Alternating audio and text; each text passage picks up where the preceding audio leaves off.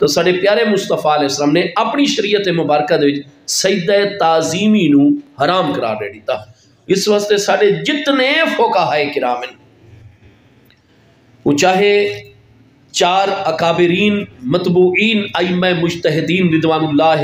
मजमैन दे दौर तो पहले दे आइम मुश्तहिद हज़रत सैदना इमाम हसन बसरी ताबई, कुद्दस रोहन नूरानी एक सौ दस हिजरी विसाल फरमा रहे हजूर मौल कायनात करम करीम जैसी हस्तियाँ दे शागिर्द और खलीफा अकबर। इस तरीके हज़रत सैदना सईद इबन मुसैब ताबई रदी अल्लाह ज़ात बरक़ात हज़रत इमाम मोहम्मद बिन सीरीन, हज़रत इमाम अबू आमिर अशाबी हज़रत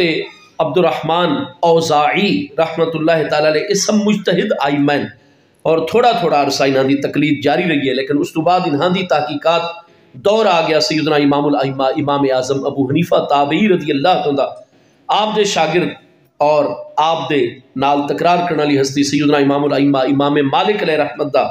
इमाम शाफी अल रहमत दा, इमाम अहमद बिन हम्बल अल रहमत, ये आइम मुश्तहदीन मतबूइन मुतलक आइमा इन पे और मुश्तहदीन मुतलक इन पे इन्होंने हस्तियों किसी हस्ती तुसा न देख सो कि जड़ी हस्ती कोई भी सजद ताजीमी दे जवाज का कॉल करने वाली हो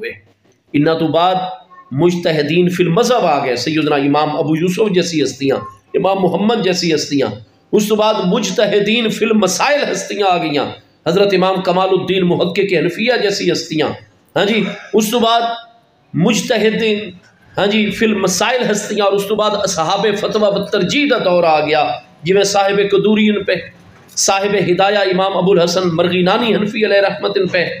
आप साढ़े मुजतहिदीन मुतलकीन तो देख के असहाब फतवा तरजी उलमा फोका हाथ तक देख सो, कोई हिक भी आलिम साड़ी शरीयत बरकदा कोई हिक भी फकीर सईद ताजीमी दे जवाज का कायल तो नज़र ना सी और साढ़े अक्सर मशाइख इज़ाम, मशाइख तरीका तो मारफत हकीकत जो अक्सर साढ़े मशाइख, यानी अठानवे मशाइख वो ताजीमी के कायल ना हुसन नतीजा यह है कि साढ़े प्यारे मुस्तफ़ा करीम सलाम की शरीयत मुबारक सईद ताजीमी